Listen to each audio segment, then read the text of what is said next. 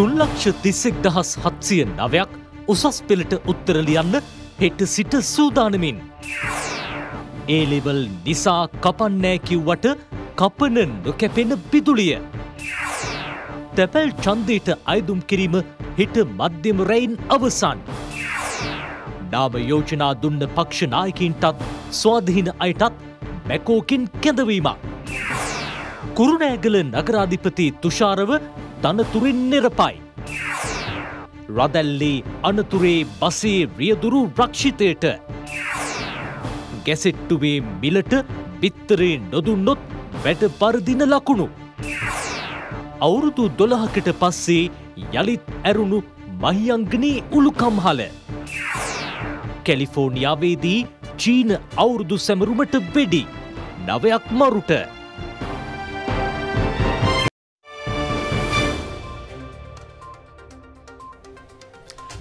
ඔබෙක්වන්නේ විශ්වසනීම පුවත් කාටත් කලින් රටට කියන ITN නිවස් සවත්සහයයි තිහ ප්‍රධාන ප්‍රෘත්ති විකාශය සමකින්. දෙදහස් විසි දෙක වසරට අදාළ අධ්‍යන පොදු සහතික පත්‍ර උසස් පෙළ විභාගය හෙට ආරම්භ වනවා. මෙතර විභාගයේදී නියමිත කාලයට අමතරව තවත් විනාඩි දහයක කාලයක් ලබාදීමට තීරණය කර ඇති බව විභාග කොමසාරිස් ජනරාල් අමිත් ජයසුන්දර මහතා ප්‍රකාශ කරනවා.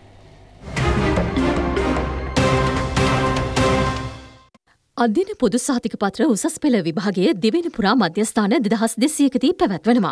මෙවර විභාගයට අයිදුම්කරුවන් තුන්ලක්ෂ තිස් එක්දහස් හත්සිය නවදෙනකු සුදුසුකම් ලබා තිබෙනවා. ඉන් දෙලක්ෂ හැත්තෑ අටදහස් එකසිය අනුහය දෙනෙකු පාසල් අයිදුම්කරුවන් වන අතර පනස් තුන්දහස් පන්සිය දහතුන් දෙනෙකු පෞද්ගලික අයිදුම්කරුවන් බවයි විභාග කොමසාරිස් ජනරල්වරයා ප්‍රකාශ කළේ.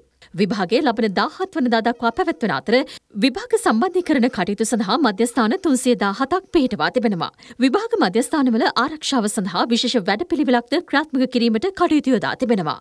සියලුම සම්බන්ධීකරණ මධ්‍යස්ථානවලට අවශ්‍ය දින 6ක් සඳහා වූ ප්‍රශ්න පත්‍ර අපි නිකුත් කරලා තිබෙනවා සෑම මධ්‍යස්ථානයකටම සම්පූර්ණ පොලිස් ආරක්ෂාව යටතේ අපේ නිලධාරීන්ගේ භාරයේ මේ මධ්‍යස්ථානවල සුරක්ෂිතව ප්‍රශ්න පත්‍ර තිබෙනවා. ඒ අනුව විභාගයේ පැවැත්වීම සඳහා අවශ්‍ය කටයුතු සූදානමින් පවතිනවා. දැන් මෙවර විභාගයේදී අපි වළංගු අනන්‍යතා පත්‍රය හැටියට පාවිච්චි කරන්න හැඳුනුම් පත්‍ර තුනක් අපි සලකනවා. පුද්ගලයන් ලියාපදිංචි කිරීමේ දෙපාර්තමේන්තුව විසින් නිකුත් කරනු ලබන ජාතික හැඳුනුම් පත්‍රය වළංගු විදේශ ගමන් ගමන් බලපත්‍රය වළංගු රියදුරු බලපත්‍රය ප්‍රවේශ පත්‍රයත් හැඳුනුම් පත්‍රයත් වළංගු අනන්‍යතා පත්‍රයත් අනිවාර්යම විභාග ශාලාවට රැගෙන යුතුයි විභාගයට ජංගම දුරකථන ඒ ජංගම දුරකථන ආශ්‍රිතව පාවිච්චි කරන්නේ විද්‍යුත් උපාංග කිසිදු දෙයක් ගෙනියන්නට බැහැ විභාග මධ්‍යස්ථානයට. කිසිදු අවස්ථාවක මේ වරදට හසු වෙන්නට එපා. දඬුවම් බරපතලයි. වසර පහක් දක්වා ඔබට ඉදිරි විභාගයට පෙනී සිටීමේ කාලය අහිමි වෙන්නට පුළුවන්. බොහෝ වෙලාවට පැයක ප්‍රශ්න පත්‍ර කියන්නේ බහුවර්ණ ප්‍රශ්න පත්‍ර. ඒතකොට ඒකේ තෝරා ගැනීමක් නැහැ ප්‍රශ්න කොටම උත්තර ලියන්න ඕනේ. ඒතකොට කියවන්න ඕනේ නැහැ කලින්. හැබැයි අර කියවලා ප්‍රශ්න තෝරා ගැනීමක් තියෙන අවස්ථාවලදී අපි විනාඩි 10ක් වැඩිපුර දීලා තියෙනවා. ඒ කියන්නේ අපි උදේ 8:00ට නම් දෙන්නේ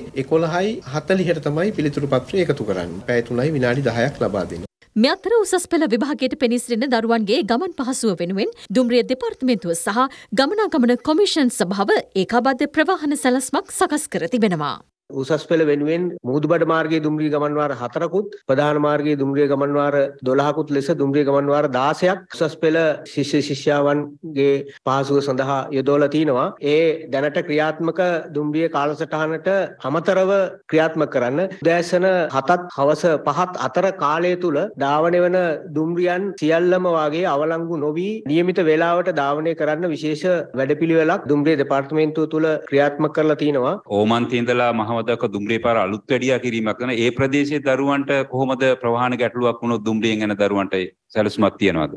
ඒ ප්‍රදේශයේත් දැනට වවුනියාව කංකසන්තොරේ අතර දුම්රිය ගමන්වාර කීපයක් අපි ක්‍රියාත්මක කරනවා. ඒ අනුව වවුනියාව දුම්රිය ස්ථානයේ දුම්රියක් ඒ සඳහා යොදලා තිනවා. බස් රථ තිබෙනවා එද්දා සයිසිය දාහතක් ශිෂ්‍යර ව්‍යාපෘතියේ පමණක් ඒ අනු අපි ඔවුන්ට උපදෙස් ලබා දීලා තියෙනවා සියලුම බස් රථ ධාවනය කරන්න එක දරුවෙක් සිටියත් බස් රථේ ධාවනය කරන්න වෙනත් අවස්ථාවන් වල මේ බස් රථයේ සිසුදරුවන් ගුරුවරුන් හැර වෙනත් අයට ගමන් කරන්න බෑ නමුත් මේ විභාගයේ පැවැත්වෙන අවස්ථාවේදී අපි අවසරය ලබා දීලා තියෙනවා. දෙමව්පියන්ට මේ දරුවන් සමග ගමන් කරන්න. අමතරව සිසුසැරිය ව්‍යාපෘතියෙන් බැහැරව තියෙන අනිකුත් සියලු සේවාවන් ශ්‍රී ලංකම සහ පෞද්ගලික මේ දිනවල ධාවනය කරනවා. විභාග සම්බන්ධීකරණ මධ්‍යස්ථාන තිස් දෙකක් ශ්‍රී ලංකා පුරා ව්‍යාප්ත වෙලා තියෙන ඒ තිස් දෙක සඳහා අවශ්‍ය ඉන්දන පහසුකම් ලබා දෙන්න ශ්‍රී ලංකම එකඟ වෙලා තියෙනවා. මෙ අතර උසස් පෙළ විභාගය පැවැත්වෙන කාල සීමාව තුළ විදුලි කප්පාදුවක් සිදු නොකරන බවට අදාළංශ තහවුරු කර ඇති බව විභාග කොමසාරිස් ජෙනරාල් අමිත් ජයසුන්දර මහතා ප්‍රකාශ කළා. කෙසවෙතත් මහජන උපයෝගිතා කොමිසම හෙට දිනේද විදුලි කප්පාදුවක් සඳහා අවසර ලබා දී තිබෙනවා. එමෙන්ම ලංකා විදුලි බල මණ්ඩලයේ සභාපතිවරයාද පැවසුවේ හෙට දිනේදී සාමාන්‍ය පරිදි විදුලි කප්පාදුව සිදු කරන බවයි. මහජන උපයෝගිතා කොමිෂන් සභාව ලංකා විදුලි බල මණ්ඩලය සහ ලංකා විදුලි පෞද්ගලික ආයතනය උසස් පෙළ විභාගය පැවැත්වෙන කාල සීමාව තුළ විදුලි කප්පාදුවක් සිදු නොකරන බවට තහවුරු කර තිබුණා. විභාග කොමසාරිස්වරයා අද පැවති මාධ්‍ය හමුවකදී ප්‍රකාශ කළේ මේ සම්බන්ධයෙන් එම ආයතන තමන්ද දැනුවත් කළ බවයි. ඉදිරි කාලය තුළ විභාගයේ පැවැත්වෙන කාල සීමාව විශේෂයෙන් මධ්‍යස්ථාන ක්‍රියාත්මක වන කාල සීමාව තුළ විදුලිය අකණ්ඩව පවත්වා ගැනීම සම්බන්ධයෙන් අපි මහජන උපයෝගිතා කොමිෂන් සභාව ශ්‍රී ලංකා විදුලි බල මණ්ඩලය ශ්‍රී ලංකා විදුලි පෞද්ගලික සමාගම ලෙකෝ ආයතනයේ මේ ආයතන වලට අපි දැනුම් දීලා තියෙනවා. ඒ ආයතන වලින් තහවුරු කරලා තියෙනවා. ඒ විභාගයේ පැවැත්වෙන කාල සීමාව තුළ අකණ්ඩව විදුලි බලය ලබා දෙනවායි කියලා යනවා අපි විශ්වාස කරනවා. මේ දරුවන්ට කිසිදු බාධාවකින් තොරව විදුලි බලය ඇනහිටීමකින් තොරව විභාග මධ්‍යස්ථාන අපිට ක්‍රියාත්මක කරන්න පුළුවන් වෙයි කියලා. දැන් ඔබතුමාලා ඉල්ලීමක් කරේ නැද්ද? මේ මේ විභාගේ පැවැත්වෙන කාල සීමාවේ පමණක් නෙමෙයි. සමස්ත වශයෙන් විදුලිය ලබා දෙන්න හැකියාවක් නෑ නෑ අනි අනිවාර්යයෙන්ම අපි දැන් අපි මම මගේ ඉල්ලීම තිබුණේ ජනවාරි 23 වෙනිදා සිට පෙබරවාරි 17 වෙනිදා දක්වා සමස්ත කාලය විදුලි බලය අපිට අඛණ්ඩව ලබා දෙන්න කියන එක.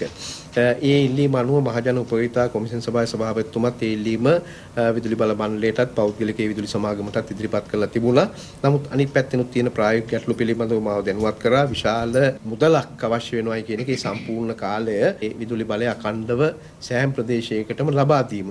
අවසාන ඉල්ලීම උනේ මොන තත්ත්වයක් යටතේ වුණත් අපිට විභාග කාලය අනිවාර්යයෙන්ම ලබා දෙන්න කියන ඒකට එකඟ වෙලා තියෙනවා. ඒකම හැකි සෑම අවස්ථාවකදීම ඒ තත්ත්වය ලබා දෙන බවට එකඟතාව පළ කරලා තියෙනවා. හැබැයි සමහර විටක විභාගයේ නොපැවැත්වෙන කාල සීමාවන් වල යම්කිසි කෙටි විදුලි විසන්ද වීම සිදු වෙන්නට පුළුවන් ඔය අතරතුර.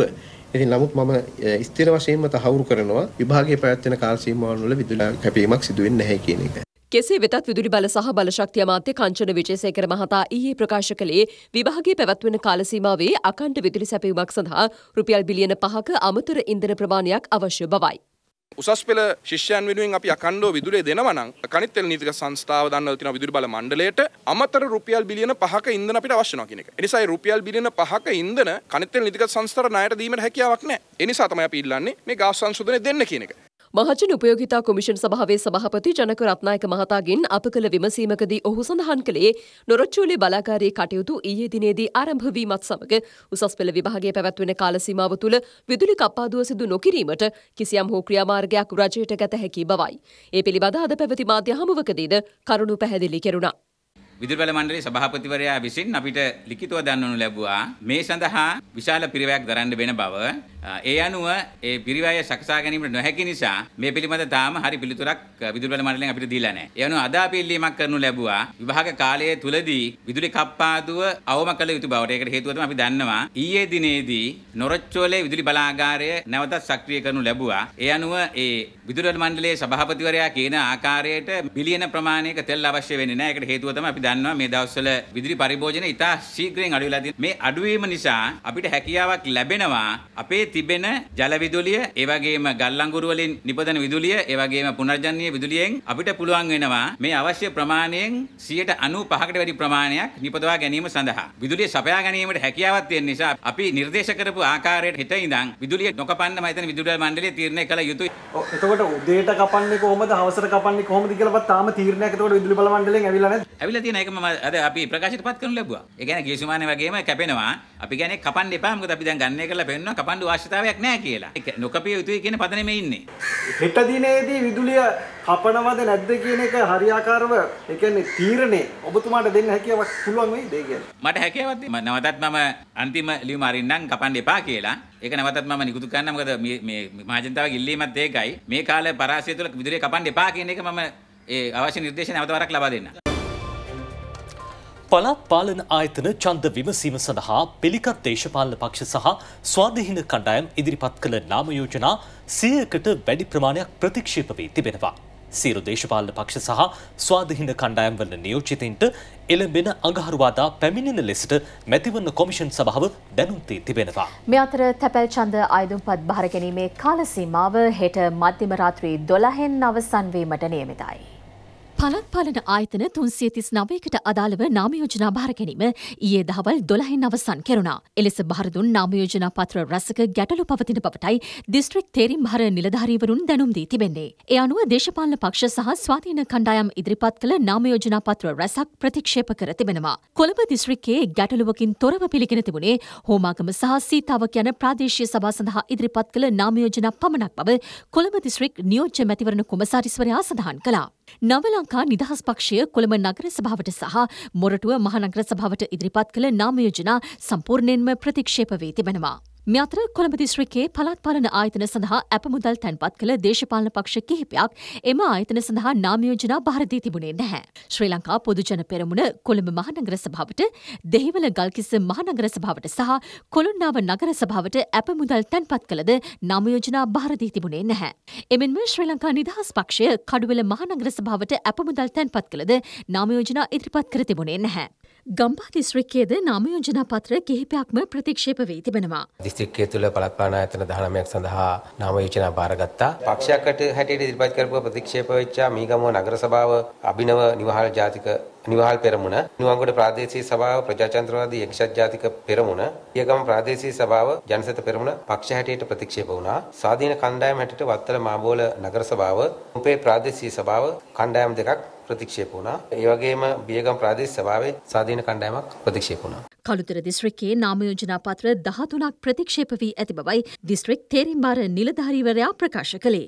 කළුතර දිස්ත්‍රික්කයේ පළාත් පාලන ආයතන 17ක් සඳහා අප තැන්පත් කිරීම සිදු වුණා 167ක්. ඒ වගේම මේ 167 ඇතුළතින් එකසිය හත්තලිස් දෙදෙනෙකු නාම යෝජනා ඉදිරිපත් කරනු ලැබුවා. එයින් නාම යෝජනා දහත්තුනක් ප්‍රතික්ෂේප වුණා. ඒ නාම යෝජනා දහතුන පක්ෂ දහයක සාස්වාධීන කණ්ඩායම් තුනක නාම යෝජනා එකසිය විසි නමයක් පිළිගනු ලැබුවා. ඒ නාම යෝජනා එකසිය විසිනමෙන් නාම යෝජනා එකසිය එකොළහක් පිළිගත් දේශපාලන පක්ෂ වන අතර නාම යෝජනා දහ අටක් ස්වාධීන කණ්ඩායම් නියෝජනය කරනවා.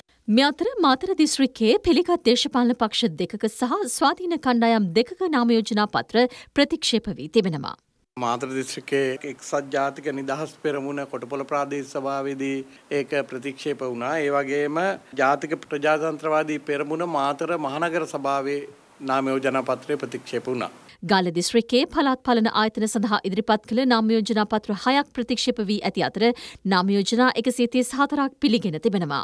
ගාල දිස්ත්‍රික්කයේ අපතැන්පත් කරලා තියෙන එකසිය පනස් දෙන අතරින් එකසිය හතලියක් නාමයෝජනා බාර දුන්නා.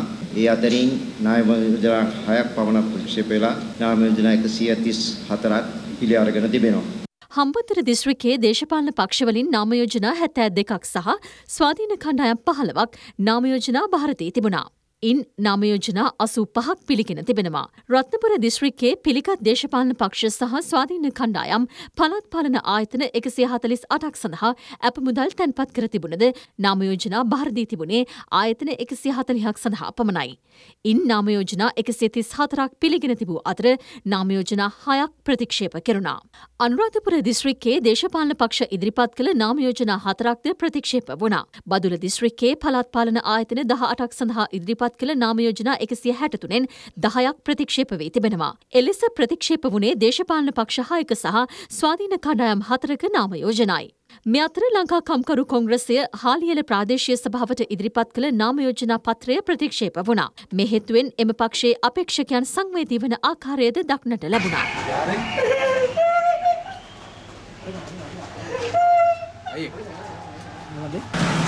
මොකද කේසක කොහොමද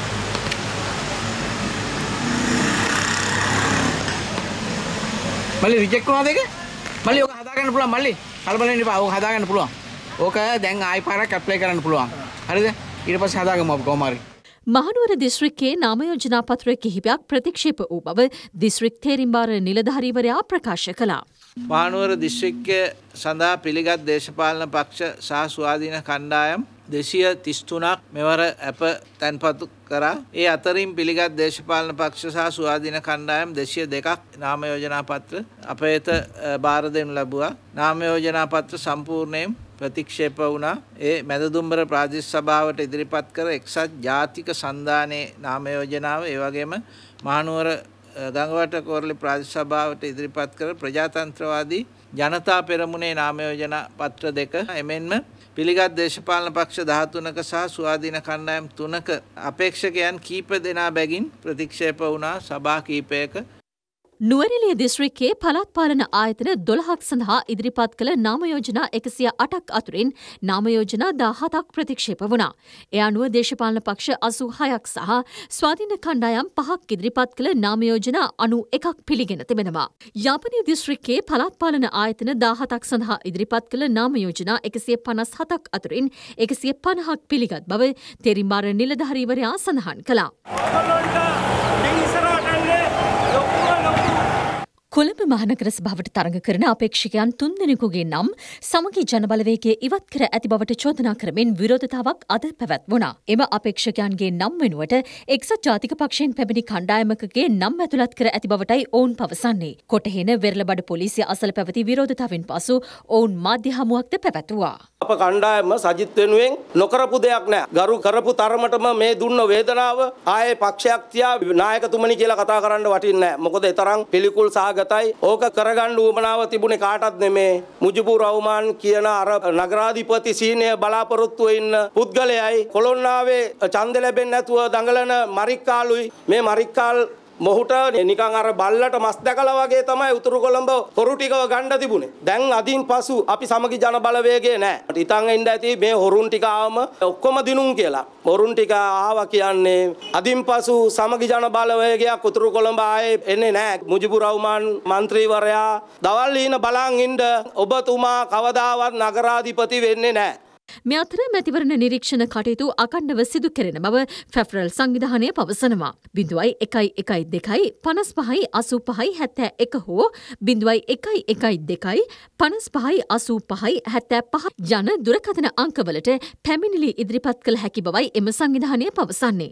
නවෙන්ද ඡන්දේ තියන්න තීරණය කරලා තියෙනවා. මේ නවෙන්ද තියෙන ඡන්දේ කල්යමක් සිදුවීමක් සිදුවිය හැකිද ආයි නීත්‍යානුකාල රාමුව තුළ අති සුවිශේෂී තත්ත්වයකදී මැතිවරණයක් කල් දැමීමේ හැකියාව තිබෙනවා මැතිවරණ කොමිසම සභාවට.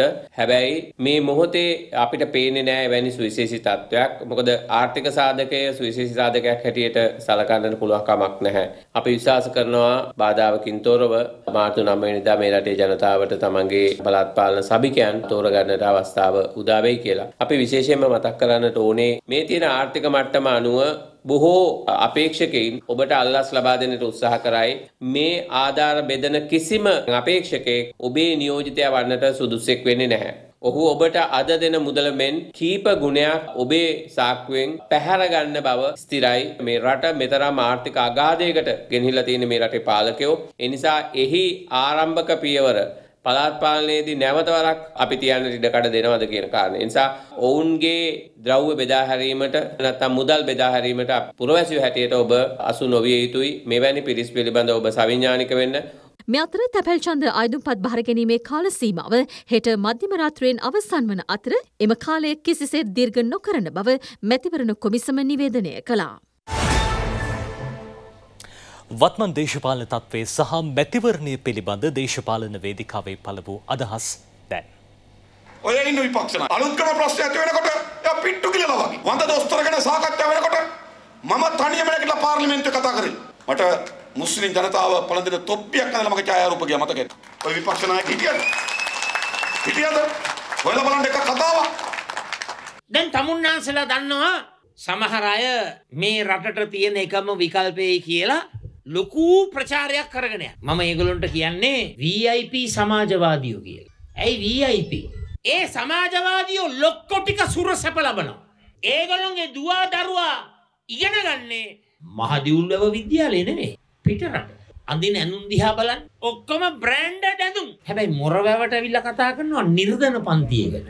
ආණ්ඩුව මේ වෙනකොටත් විවිධ කුමන්ත්‍රණ කරමින් ඉන්නේ මේ මැතිවරණය තියන් නැතුව ඉන්න. නමුත් ජනතා බලය මේ සියල්ලටම වඩා ශක්තිමත් කියන එකත් මේ ආණ්ඩුව ඉගෙන ගත යුතුයි. ගිය අවුරුද්දේ ඒක ඉගෙන ගත්තේ නැත්නම් මේ අවුරුද්දේවත් ඒක ඉගෙන ගත යුතුයි කියලා අපි හිතනවා.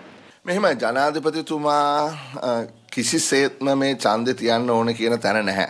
අ, රජයත් අ, මේ ඡන්දෙ තියන්න ඕන කියන තැන නැහැ. මේ ඡන්ද වියදම් අ, සම්බන්ධයෙන් තිබිච්ච පනතේදී ආණ්ඩුව පැත්තෙන් අ, කතා කරපු සියලුම දෙනා වගේ කිව්වේ මේ ඡන්දෙ තියන්න එපා කියන එක. නැතු ඕන් මේ පනත ගැන කතා කරේ නැහැ.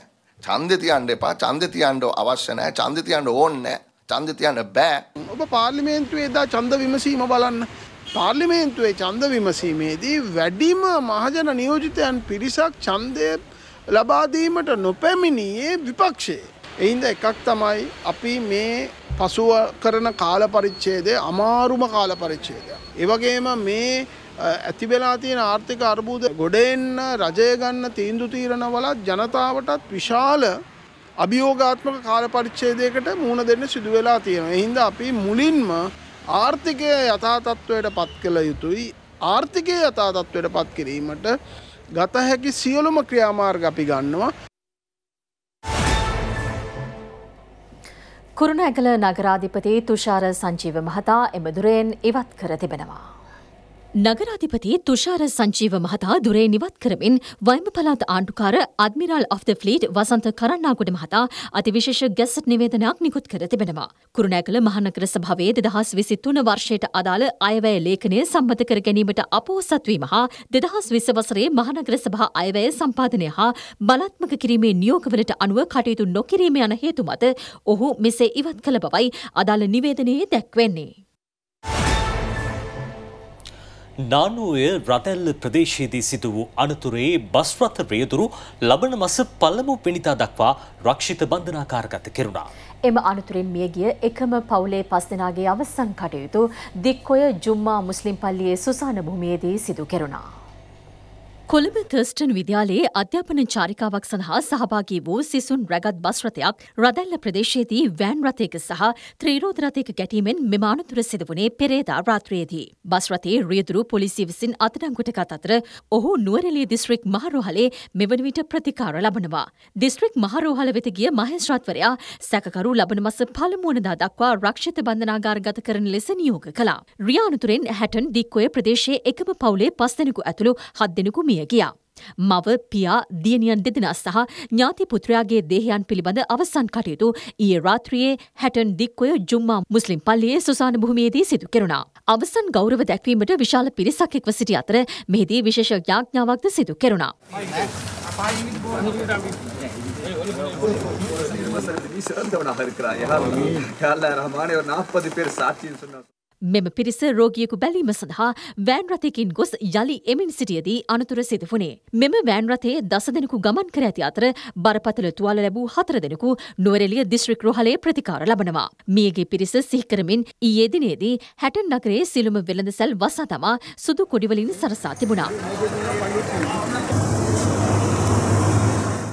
අනතුරින් මියගිය වෑන් රථයේ රියදුරු වන හැටන් කුඩාගම ප්‍රදේශය පදිංචි විසි හත් හැවරදි RNP දිනේශ්ගේ දේහය ඔහුගේ නිවසේ තැන්පත් කර තිබෙනවා.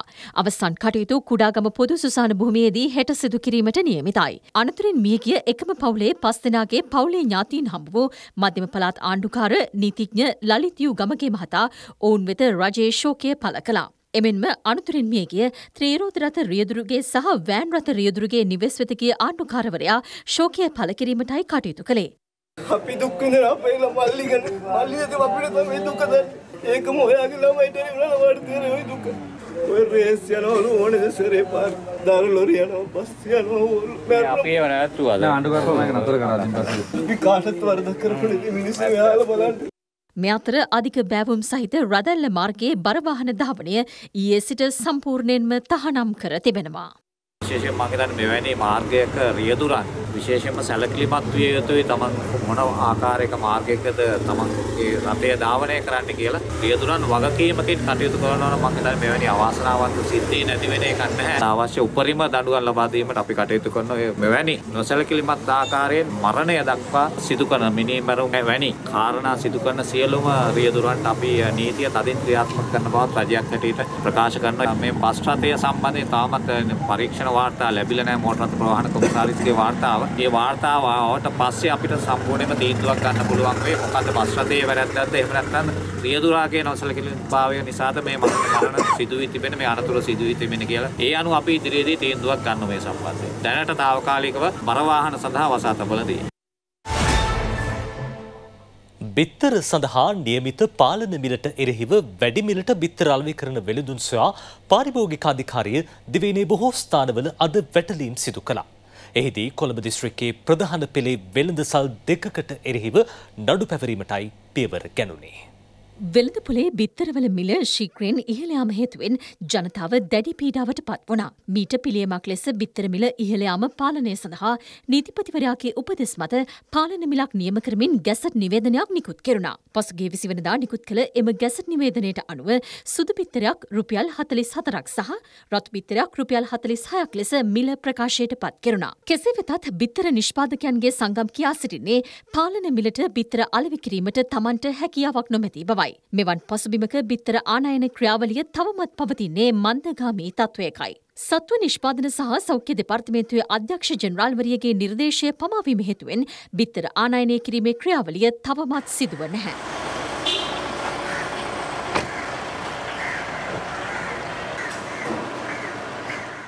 උපරිම සිල්ලර මිල ඉක්මවා වැඩි මිලට බිත්තර අලෙවි කරන ස්ථාන සොයා පාරිභෝගික අධිකාරිය අද වැටලීම් සිදු කළා.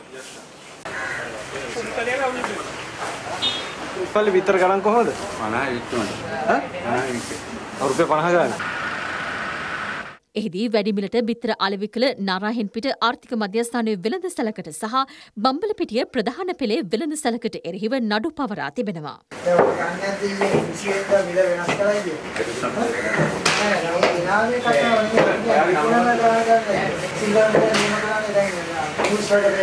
ඕකට දන්නේ නැද්ද නැත්නම් ගණන් ගන්න තියෙන්නේ? මම දන්නේ නැහැ. ඔයාලට කිව්වේ නැද්ද අයියේ කියලා? කිව්වා. ඇයි එන කිව්වා නැත්තේ? ඇයි? වැඩි මොකනන්න බෑ. මේ කොහොමද රෙජිස්ටර් කරලා දෙනවා? හෙට උදේට අයියේ කෙනාට එන්න ගන්න ආරාධිත කච්චේරි අපේ තියෙන ඔෆිස් එක අට වෙනිදා. දැන් බෝඩ් එක ලියලා දාන්න ඕනේ. සුදු පිටර 44 සිල්වර නෙමෙයි රතු පිටර 46යි. බෝඩ් එක ලියන්න. DRC එක ගේන්න කියන්නේ මොකද DRC එක බලලා තමයි දඩ මෙඩක තීරණය වෙන්නේ. හරි තනි ව්‍යාපාරයක් නම් රුපියල් ලක්ෂය වමදයි. බෝඩ් එක දාලා ඔය විදිහට විකුණන්න ඕනේ. බෝඩ් එක ගලවන්න බෑ හරි. ආයෙත් ටිකක් දෙක් කරන්න එතකොට වැඩියෙන් තිබ්බොත් ආයෙත් ගන්න වෙනවා.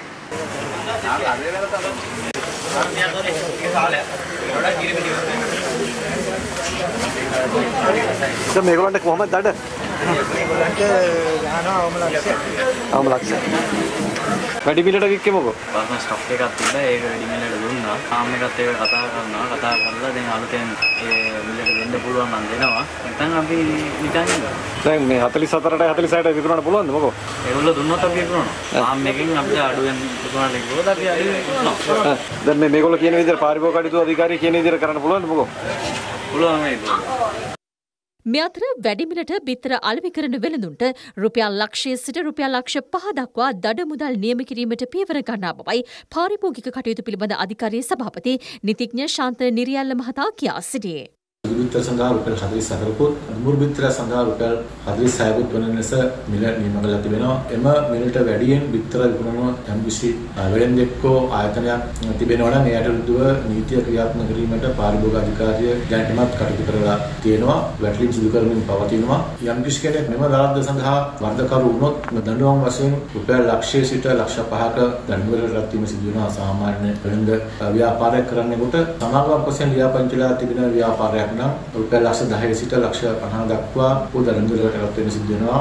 පසුගිය අගෝස්තු මාසයේදී ගැසට් නිවේදනය නිකුත් කරපු අවස්ථාවේදී විතර වෙන සංගම විසින් අමාත්‍යවරයා වෙත කරන ලද ඉල්ලීමක් අනුව ගැසට් පත්‍රයේ සඳහන් වීමට වඩා රුපියල් 5ක වැඩි මිලකට අලෙවි කර ගැනීමට අවස්ථාව ලබා දුන්නා යම් කිසි සහනයක් ඉල්ලා සිටින නිසා නමුත් පසුගිය අගෝස්තු මාසයේ සිට අද දක්වා බලපුවාම සත්ව ආහාර මිල සැලකිත ප්‍රමාණයක් අඩු වෙලා තිබෙන නිසා නිෂ්පාදන වියදම විශාල වශයෙන් අඩු වෙලා තිබෙන බව ගණනය කිරීම නිසා වෙළඳපොළ නිරීක්ෂණවලදී අනාවරණය වෙලා තිබෙනවා. ඒ අනුව මේ අවස්ථාවේදී එවැනි සහනයක් ලබා දීමට අවශ්‍ය වන්නේ නැහැ. රටක් ලෙස යළි නැගී සිටීමට නම් අපේ රටේ වටිනාකම්වලට අලුත් මානයක් විවර කර ගැනීම ඉතාම වැදගත්. නිමේෂ චමත් ඇතුළු අපේ නිෂ්පාදන කණ්ඩායම බදුල්ල දිස්ත්‍රිකයට ගියේ අපේ රටේ දෙකට ලැබුණු අලුත් ආරම්භයක් ගැන සොයා බැලීම සඳහායි. අපි ඇවිල්ලා ඉන්නේ ඓතිහාසික මහියංගනය පුරවරයට. අපි දන්නවා අපේ රටේ අද්විතීය ඉතිහාසය ප්‍රෞඩ ඉතිහාසය ගැන කියාපාන නටබුන් රාශියක් මේ ප්‍රදේශය පුරාම විසිරලා තියෙනවා. හැබැයි අපි මේ ඇවිල්ලා ඉන්නේ ඒ නටබුන් ගැන ඔබට කියන්න නෙමේ. නටබුන් බවට පත්වෙන්න ගියපු දෙයක් යළි පණ ලබපු සිද්ධියක් ගැන ඔබත් එක්ක තොරතුරු බෙදාගන්න. අපි යමු ඇතුළට මං කියන්නම් විස්තරය මොකක්ද කියලා.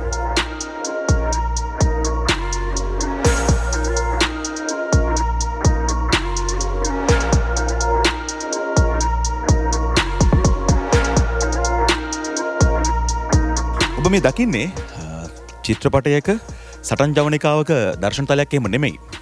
මේ තමයි මහියංගනය උළු කර්මාන්ත ශාලාව. අවුරුදු දොලාහකට ආසන්න කාලයක් මේ උළු කර්මාන්ත ශාලාව වහලදාල තිබ කිසිම ප්‍රයෝජනයක් ගන්නේ නැතුව. හැබැයි අදඉදං මේ කර්මාන්ත ශාලාවේ වැඩ කටයුතු ආරම්භුණ. එකන්නේ මේ දැවන්ත කර්මාන්ත ශාලාවේ මේ යන්ත්‍ර සූත්‍ර අද ඉඳං නිහඬ බව මිදිමින් වැඩ කරන්න පටන් ගත්තා.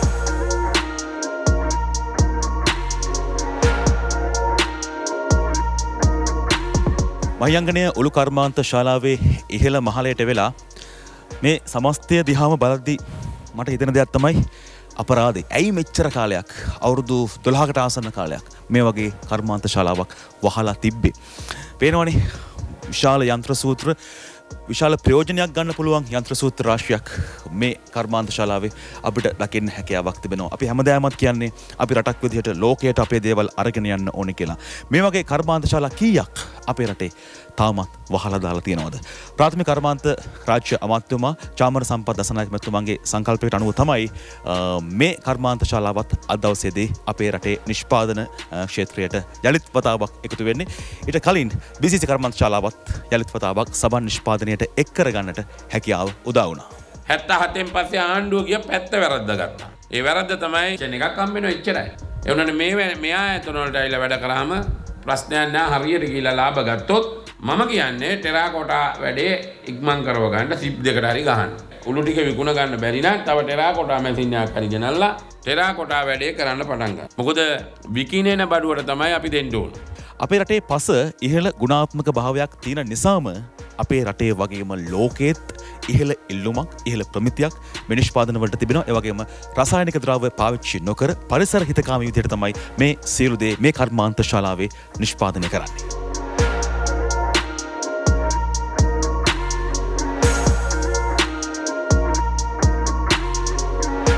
එක්දස් නවසය හැට එක අවුරුද්ධදී බ්‍රතාාන ජාතකයන් තමයි මේ දැවන්ත කර්මාන්ත ශලාව මේ මහියංගන ප්‍රදේශයේ එදි කරන්නේ.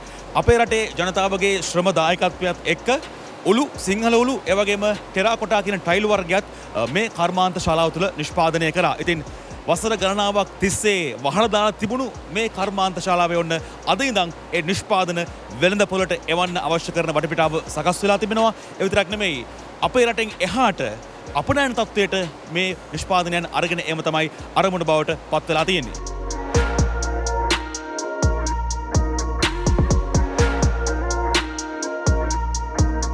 මේ කර්මාන්ත ශලාව යළිත් පතාවක් ආරම්භ කිරීමත් එක්ක මේ වෙනකොට මේ ප්‍රදේශවාසී ජනතාවගෙන් හතලයකට අධික පිරිසකට රැකයා අවස්ථා හිමි වෙලා තිබෙනවා. ඒවගේම තවදුරටත් මෙහි කටයුතු වැඩදිනු කරද්දි තවත් රැකිය අවස්ථා දෙසයකට තුන්සේකට අධික සංඛ්‍යාවක් නිර්මාණය කරගන්න හැකියාව ලැබෙනවා ඒත් එකම වක්්‍ර රැකයාත් විශාල සංඛ්‍යාවක් මේ එක්කම නිර්මාණය විකින කාරණාව තමයි අපේ විශ්වාසය බවට පත්වෙන්නේ.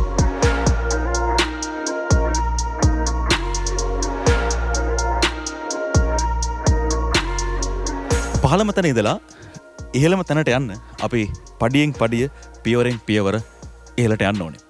රටක් විදිහට අපි ඉන්නේ දැන් පහළම තැනක නම් රටක් විදිහට ඉහලටම යන්නත් අපි පියවරෙන් පියවර නගින්න ඕනේ ඉදිරියට මේ වගේ අතහැරල දාලා තියෙන කර්මාන්ත ශාලා එකින් එක යළිත්වතාවක් පණ ලබනවා නම් ඒක අපේ රටේ හෙට දවසට සුවිශාල ශක්තියක් බවට පත්වවී. මේ වගේම තවත් කර්මාන්ත ශලාවකට හෙට දවසේදී පණ දෙන්නට ප්‍රාථමික කර්මාන්ත රාජ්‍ය අමාත්‍යංශය සූදානමිනවා. එතොරතුරුත් ඔබට ගෙනෙන්නට අපි බලාපොරොත්තු වෙනවා නුදුරුම දවසකදී.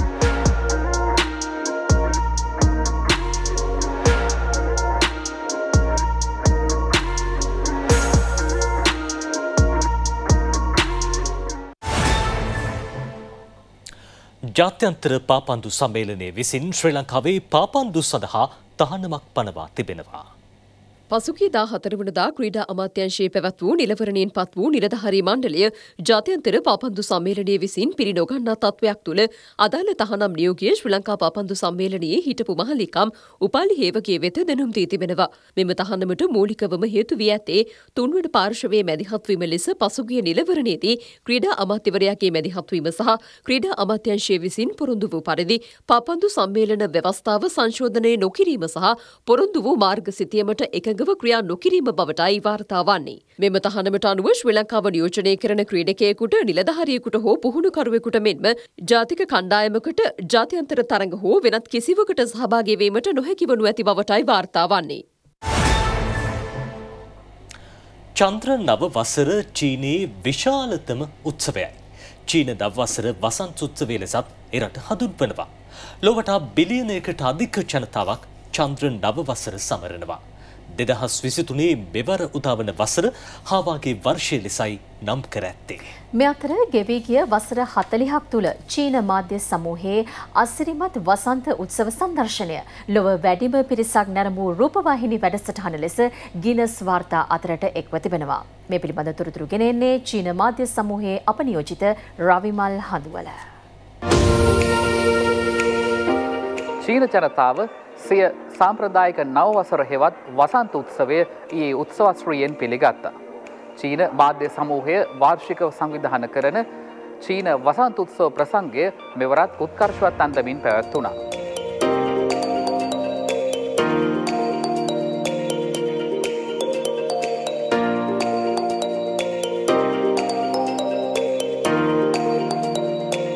ආරම්භය සිට ගෙවීගේ වසර හතලියක් තුළ චීන මාධ්‍ය සමූහයේ මෙම අසිරිමත් වසන්ත උත්සව සංදර්ශනය ලොව වැඩිම පිරිසක් නරබන ලද රූපහනි වැඩස්ටහන ලෙස ගෙනස් ලෝක වාර්තාවට හිමිකම් කියනවා.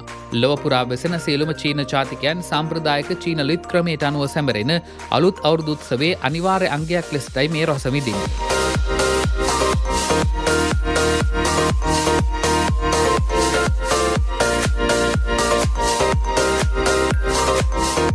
වසර පන්දහසක ශිෂ්ඨාචාරයේ සමුෘද්ධය සහ අභිමානය භුක්තිවිදීම චීන ජනතාවගේ ආධ්‍යාත්මය අත්විඳීම මෙන්ම නව වසර වෙනුවෙන් මිලියන ගණනක් චීන පවුලල් සාමාජිකයන්ගේ හදවත් පෙළ උපදින සුභ පැතුම් බෙදා ගැනීමටද මෙය වටිනා සංස්කෘතිකමය අවස්ථාවක් වෙනවා.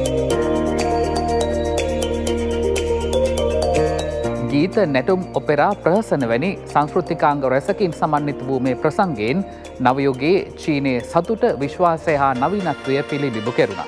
ස්වාධී රූපාණී සේවේ වෙනුවෙන් චීන මාධ්‍ය සමූහේ රවිමල් හඳුවල බේජිං නුවර සිට.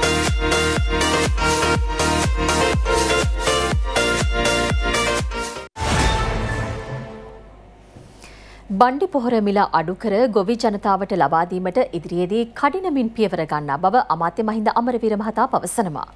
කෘෂිකර්ම ශේත්‍රය අඩාල වී ඇති බවට අසත්‍ය පුවත් නිර්මාණය කිරීමට එක්තරා දේශපාලන පක්ෂයක් උත්සාහ දරන බවටද අමාත්‍යවරයා මෙහිදී චෝදනා කළා.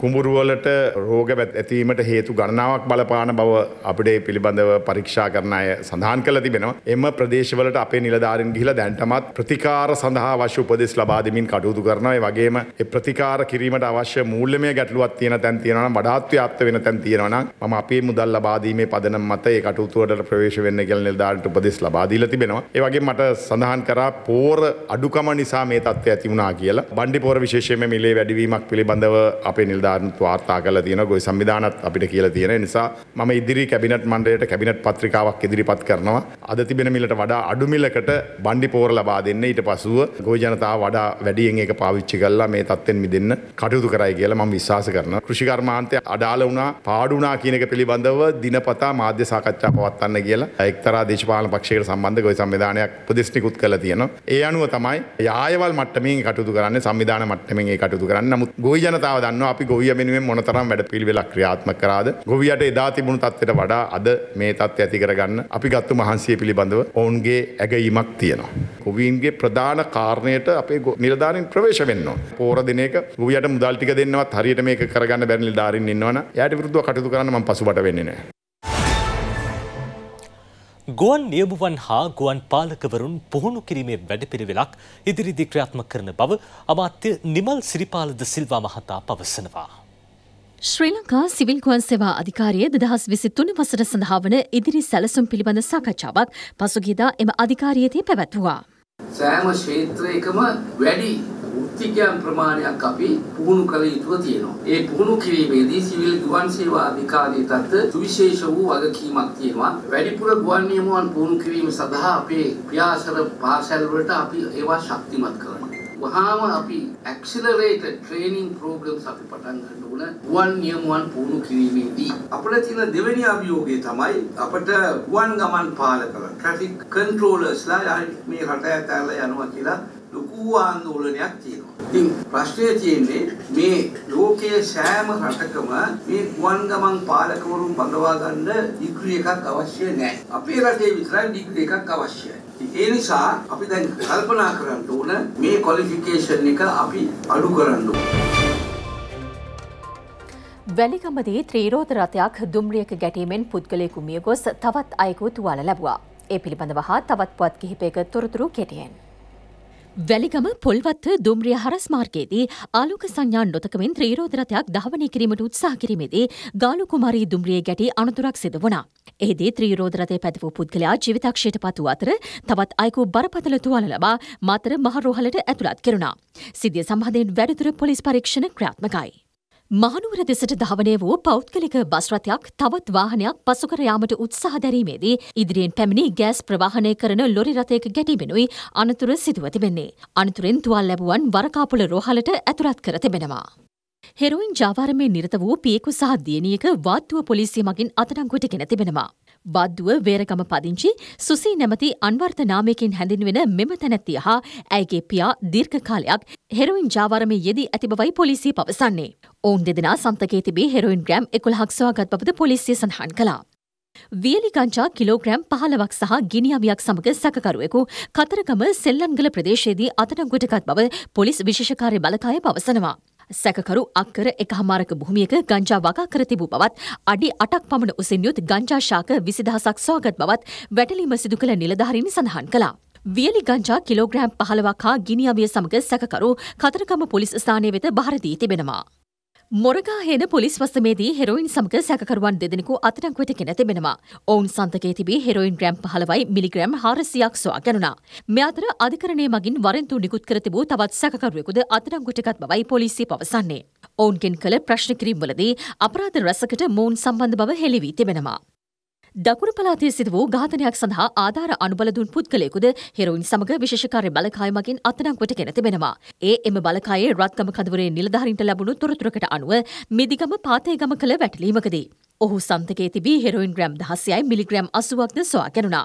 මිදිගම පාතේගම ප්‍රදේශයේදී මදුර ලක්ෂිත නැමැත්තෙකු ඝාතනය කිරීමට ආධාර අනුබල දුන් බවට මෙම සැකකරුට චෝදනා එල්ල වී තිබෙනවා. ඉන්දිය ණය ආධාර යටතේ ග්‍රාමීය මාර්ග සඳහා බස් රථ දහසක් යොදවන බව අමාත්‍ය ආචාර්ය බන්දුල ගුණවර්ධන මහතා පවසනවා. නිදහස් දිනයට සමගාමීව ග්‍රාමීය මාර්ග සඳහා බස් රථ දහසක් පොදු ප්‍රවාහනය සඳහා යෙදවීමටයි සැලසුම් කර තිබෙන්නේ. එහි එක් පියවරක් ලෙස බස් රථ දෙසිය විසි පහක් ලබන මාසේදී දහවනයට එක් කෙරෙනවා. රියතුරු සහ කොන්දොස්තරවරුන්ගේ හිඟතාව මත දිනකට බස්රථ අටසීයක්වත් ධාවනය නොකරන බවයි හෙළිවී තිබෙන්නේ. පාදුක්ක ගල්කඩුව එකසි විසි හතර එක ගමන් මාර්ගයේ පිටකොටුව දක්වා නව බස්රථයක් ධාවනය කිරීමේ අවස්ථාවට එක්වමින් අමාත්‍ය ආචාර්ය බඳුළු ගුණවර්තන මහතා මෙම කරුණු හෙළි කළා. රියදුරු හා කොන්දොස්තරවරු නොමැතිවීම නිසා ඩිපෝ එකසිය හත තුළම බස්රත්ත දිනකට ධාවනය වෙන්නේ අටසීයක් පමණ. ඒ සඳහා විශේෂ අනුමැතියක් ලබාගෙන කොන්ත්‍රාත් පදනමය යටතේ රියදුරු කොන්දොස්තරවරු බඳව ගැනීම දැන් ආරම්භ කරලා තියෙනවා. ඒ අනුව ඒ බස්රත් අටසීයත් පෙබරවාරි මාසයේදී ග්‍රාමීය මාර්ග සඳහා යොදවන්න මේ මාර්ගය බැලුවොත් අවුරුදු පාකසිට පැවතුන බස්රතය ධාවනය වෙන්නේ. ඉතා විශාල ආර්ථික දුෂ්කරතා රාසියක් රට මුණදීලා සිටිය පොදු ප්‍රවාණය වැඩි දියුණු කිරීම සඳහා ප්‍රමුඛතාවය ලබා දෙනවා. අපි ප්‍රමුඛතාවයක් ලබා දෙනවා ඕමාරි කැලණි මිටියාවතේ දුම්රිය මාර්ගයත් විදුලි දුම්රිය මාර්ගයක් බවට පත් කරගන්න. ලෝක සාර්ථකත්වය සඳහා බලපෑමක් ඇති කිරීමට හැකි කාන්තාවන් සඳහා වූ පළමු ජාත්‍යන්තර සම්මේලනයට ශිරන්ති රාජපක්ෂ මහත්මිය සහභාගී වුණා. ඉරානයේ පැවැත්වෙන මෙම සමුළුවේ සංවිධායක මණ්ඩලය කළ ආරාධනයකට අනුවයි ඒ මහත්මිය සමුළුව සඳහා සහභාගී වී සිටින්නේ. චීනය, ඔස්ට්‍රේලියාව, එංගලන්තය, රුසියාව, ස්වීඩනය ඇතුළු රටවල් රැසක නියෝජිතයන් තුන්සියකට වැඩි පිරිසක් සමුළුවට සහභාගී වුණා. ලොව සාර්ථකත්වයට බලපෑම් ඇති කිරීමට හැකි කාන්තාවන් අගය කිරීම වෙනුවෙන් සමුළුව සංවිධාන කර තිබුණා. ජර්මන් ජාතික සංචාරක යුවලක් ගමන්ගත් ත්‍රීරෝධ රථයකට හබරණ බටුවේ ප්‍රදේශයේදී වනාලියකු පහර දී තිබෙනවා. හබරණ සිට පොළොන්නරුව දක්වා දහවනය වූ ත්‍රීරුදුරතේ ගමන්ගත් ජර්මන් ජාතික සංචාරකින් දෙදෙනා කිසියම් අවශ්‍යතාවයකට මාර්ගය අසන්නේ ත්‍රීරුදුරතේ නතර කර තිබෙනවා. එම අවස්ථාවේ පැමිණි වනාලියකු ත්‍රීරුදුරතයට පහර දී ඇති අතර ත්‍රීරුදුරතයට දැඩි හානි සිදු වුණා. සංචාරකින් ළඟ තිබූ ගමන් මළු වනාලියා උදුරාගෙන තිබෙනවා. මින්නේරිය පොලිස්ථානයේ නිලධාරීන් සහ වනජීවී නිලධාරීන් එක්ව අලියා පලවා හැර වෙනත් වාහනයකින් සංචාරකින් පොළොන්නරුවට පිටත් කර හැරීමට කටයුතු කළා. කාන්තාවන් කේශ කල්්‍යයානයට දක්වන්නේ අසීමිත ආදරයක්. දිගු වරලසක් හිමි කාන්තාවක් එය ආරක්ෂා කර ගැනීමට කැපවී කටයුතු කරන අයුරු බොහෝ විට දැකගත හැකි. නමුත් තමන්ගේ දිගු වරලස පිළිකා රෝගීන් වෙනුවෙන් පරිත්‍යාග කිරීමට කාන්තාවන් එකසිය දාහතර දෙනෙකු එක්කම ස්ථානයකදී කටයුතු කළ දුර්ලභ අවස්ථාවක් පිළිබඳව අපට වාර්තා වුණා. බිංගිරිය කරව්වැව සද්ධර්මෝදය අසපු ආරාමේදී කාන්තාවන් එකසිය දාහතර දෙනෙකු මෙසේ කෙස් දන්තීම සිදු කළා. පිළිකාරෝගීන් වෙනුවෙන් සකසන කෘතිම කෙස් වැටි සකස් කිරීම සඳහා ඔවුන් මෙසේ තම දිගු වරලස පරිත්‍යාග කිරීමට එක්ව සිටියා. සද්ධර්මෝදය අසපු ආරාමේ අනුශාසක පූජ්‍ය උඩුනුවර පසන්න මානස ස්වාමීන් වහන්සේගේ මඟ පෙන්වීම මතයි මෙම පුණ්‍ය ක්‍රියාව සංවිධානය කර තිබුණේ. එකම ස්ථානයකදී විශාල පිරිසක් මෙසේ කෙස් දන් දීම ප්‍රදේශවාසීන්ගේ ප්‍රසාදයට ලක් වුණා. තාරකා විජයවංශ සූදානම් දවසේ කාලගුණ තොරතුරු ඔබට කියන්න. Thank you. කාලගුණය පිළිබඳ අවධානය යොමු කරන විට දෙවේනේ නැගෙනහිර ඌව සහ උතුරු මැද පළාත්වලත් හම්බන්තොට දිස්ත්‍රික්කයේත් විටින් විට වැසි හෝ ගෙගුරුම් සහිත වැසි ඇතිවිය හැකි. ඇතම ස්ථානවලට මිලිමිටර් හැත්ත පහකට වැඩි තරමක තද වැසි ඇතිවිය හැකි බවයි කාලගුණ විද්‍යා දෙපාර්තමේන්තුව සඳහන් කරන්නේ. දිවෙනේ සසු ප්‍රදේශවලට සවස් කාලයේදී හෝ රාත්‍රී කාලයේදී වැසි හෝ ගෙගුරුම් සහිත වැසි ඇතිවිය හැකි. ගෙගුරුම් සහිත වැසි ඇතිවන විට එම ප්‍රදේශවලට තාවකාලිකව තද සුළන් ඇතිවන අතර අකුණු මගින් සිදුවන අනතුරු වළක්වා ගැනීමට අවශ්‍ය පියවර ගන්නා ලෙස කාල්ගුණ විද්‍යා දෙපාර්තමේන්තුව ජනතාවගෙන් ඉල්ලා සිටිනවා. දෙවන වටා මුහුදු ප්‍රදේශ පිළිබඳව අවධානය යොමු කරන විට හම්බන්තොට සිට මඩකලපුව ත්‍රිකුණාමලය සහ මුලතිව් හරහා කංකසොන්තරය දක්වා පෙරලට ඔබ්බෙන් වන මුහුදු ප්‍රදේශවලට විටින් විට වැසි ඇතිවිය හැකි. සුළන් හමන්නේ සාන දෙසෙන් වන අතර සුළන්ගේ වේගය පැඩි කිලෝමිටර් විසි පහත් තිස් පහත් අතරකයක් යන්නා බව කාල්ගුණ විද්‍යා දෙපාර්තමේන්තුව සඳහන් කරනවා. කොළඹ සිට පුත්තලම කංකසන්තුරේ ත්‍රිකුණාමලය මඩකලපුව සහ හම්බන්තොට හරහා ගල්ල දක්වා වෙරලට ඔබ්බෙන් වන මුහුදු ප්‍රදේශවල සුළගේ වේගය පෑඩ කිලෝමිටර් හතලිහත් පනහත් අතරගයක් කන්නා බව එම දෙපාත්මෙන්තු වැඩදොට සඳහන් කරනවා.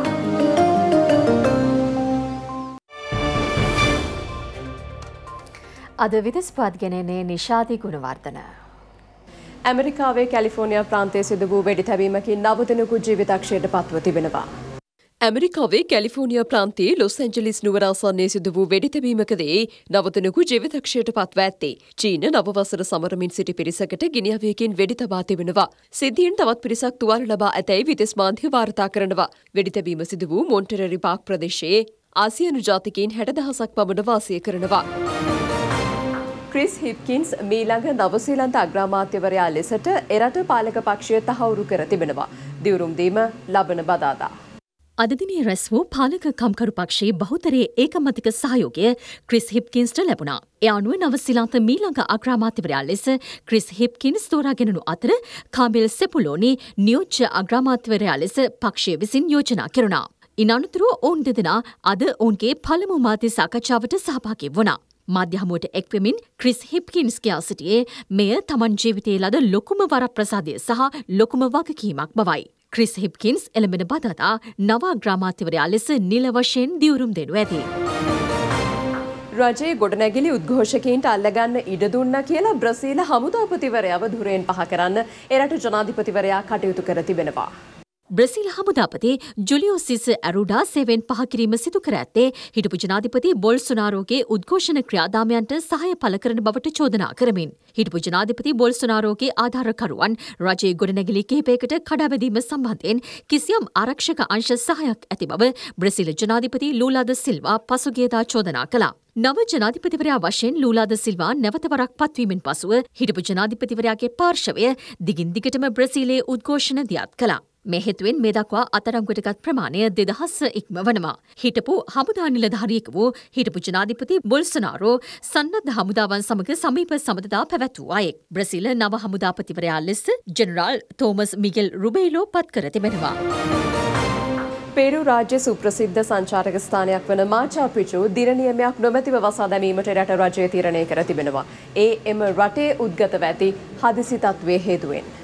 සංචාරකයන් සහ පුරවැසියන් ආරක්ෂා කිරීම සඳහා මෙම අඩවිය වසා දැමුණු බවයි එරට රජය ප්‍රකාශ කරන්නේ. හදිසියේ එම ස්ථාන වසා දැමීම හේතුවෙන් ඉන්කා බලකොටුව පාමුල පැය ගණනක් සිටවී සිටි සිය ගණනක් සංචාරකයන් මෙවන විට ඉවත් කරගෙන ඇති බවයි වාර්තා වන්නේ. පෙරු රාජ්‍යයේ ප්‍රචණ්ඩ විරෝධතා ආරම්භ වූයේ පේරුහි පෙරනායකයා නිරපහැරීමත් සමගයි. විරෝධතාකරුවන් විසින් ඇතැම් දුම්රිය මාර්ගවලට හානි කිරීම හේතුවෙන් පසුගියදා මාචාපිචූ වෙත දුම්රිය සේවාද අත්තිරවනු ලැබවා. ඊශ්‍රයිල අගමැතිට එරෙහිව දහස් ගණනක ජනතාව වීදි පැස තිබෙනවා. ඊශ්‍රයිල අගමැති බෙන්ජමින් නෙතන්යාහු සිදු කළ නීතිමය ප්‍රතිසංස්කරණවලට විරෝධය පළ කරමින් සති තුනක් පුරා මෙවන විට උද්ඝෝෂණ සිදු වනවා. ලක්ෂයකට ආසන පිරිසක් ඊශ්‍රයිල අගනුවර වන ටෙල් අවිව් වෙත රැස්ව ඇති බව වාර්තා වනවා. අගමැති නෙතන්යාහු අධිකරණ පද්ධතිය ප්‍රතිසංස්කරණය කරමින් ශ්‍රෂ්ඨාධිකරණය දුර්වල කර ඇති බවයි ජනතාව චෝදනා කරන්නේ. දේශපාලන විශ්ලේෂකයන් සඳහන් කරන්නේ නෙතන්යාහු රජය ඒකාධිපති පාලනයක් කරා ගමන් කිරීමට උත්සාහ ගන්නා බවයි. බටහිර අවිනිශ්චිත භාවය තම රටේ ජනතාව මරා දමන බවට යුක්‍රේන ජනාධිපතිවරයා චෝදනා කරනවා. හමුදාවන්ට විරුද්ධව සටන් කිරීමට උපකාර සඳහා යුද උපකරණ ඇතුළු මිලිටරි ආධාර සැපීමට යුරෝපිය රටවල් පසුගේ සිකුරාදා එකඟ වුණා. ඒ ජර්මනිය පැවති හමුවකින් අනතුරුවයි. කෙසේ වෙතත් ජර්මනිය පවසන්නේ යුද ටැංකි හා ආයුධ ලබාදීම සම්බන්ධයෙන් තමන් තවමත් අවසන් තීරණයක් ගෙන නොමැති බවයි. යුක්‍රේනය පවසන්නේ ප්‍රමාද වන සෑමදිනයක්ම යුක්‍රේනයේ මරණය බවයි. එනිසා හැකි ඉක්මනින් එකඟ වූ යුද ආධාර ලබා දෙන්නයි යුක්‍රේන නායකයා ඇතුළු රජය බටහිර රටවලින් ඉල්ලා සිටිනවා. චීනය තම ජනගහනින් සිට ආසුවකට කොවිඩ් පැතිරගොස් ඇති බව සඳහන් කරනවා. දෙදහස් විසි දෙක වසරේ සිට මෙවසරේ ජනවාරි දක්වා කොවිඩ් නිසා මියගිය සංඛ්‍යාව හැට දහසක් බව චීනය පවසනවා. චීන විද්‍යාඥයන් පවසන්නේ ජනගහනෙන් සියට අසුවකටත් වඩා ප්‍රමාණයකට කොවිඩ් ආසාධනය වී ඇති බැවින් නැවතවරක් කොවිඩ් ආසාධනයවීමේ අවධානම අඩු ඇති බවයි. චීනයේ දැනට පැතිරයන්නේ ඔමික්‍රොන් උපප්‍රබේද වන කොවිඩ් රෝගයයි. අද ක්‍රඩපුවත් කෙනෙන්නේ සුරංග ප්‍රනාන්තු. නවසීලන්තයට එරහිව පැවති දෙවන එක්දින තරගය කඩුළු ප්‍රෘත විකාශය අවසන් වන බ. අපට සුභරාත්‍රයක් අයිබෝවන්. Thank you.